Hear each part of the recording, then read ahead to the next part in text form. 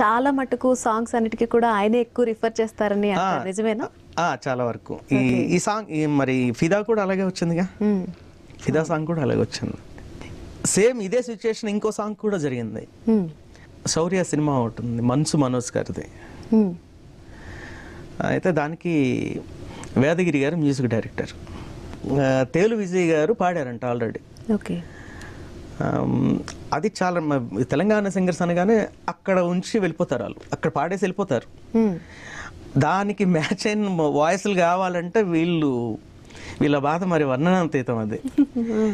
ఎవరు సెట్ కారు? ఓకే.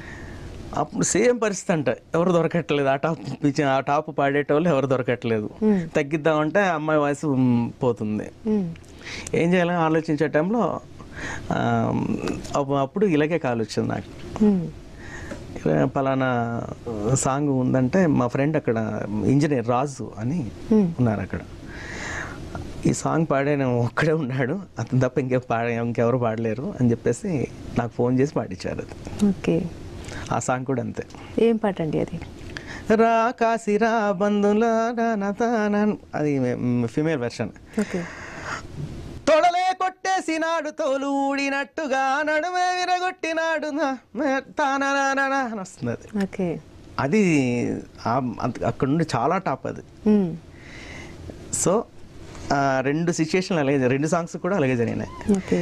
ఏంటంటే నన్ను వెతుక్కుంటూ వచ్చిన సాంగ్స్ మ్మ్. ఈ రెండు కూడా నన్ను వెతుక్కుంటూ వచ్చిన సాంగ్స్ నేను వెతుక్కు చాలా మంది ఆ, సాంగ్స్ని అవకాశాలు వెతుక్కుంటూ వెళ్తారు. వెళ్తారు. కానీ నన్ను వెతుక్కుంటూ వచ్చిన పాటలు ఈ రెండు.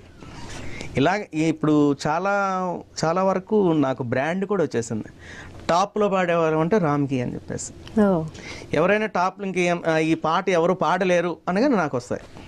అది సినిమా పాట అని ప్రైవేట్ సాంగ్ అని ఏదైనా సరే. ఎందుకని అంటారు? అంటే మన ఇండస్ట్రీలో అంత హై పిచ్లో పాడే వాళ్ళు తక్కువ పాడేవాళ్ళు తక్కువ అండి. ఓకే. తక్కువ. ఎవరు లేరు కూడా నాకు తెలుసు.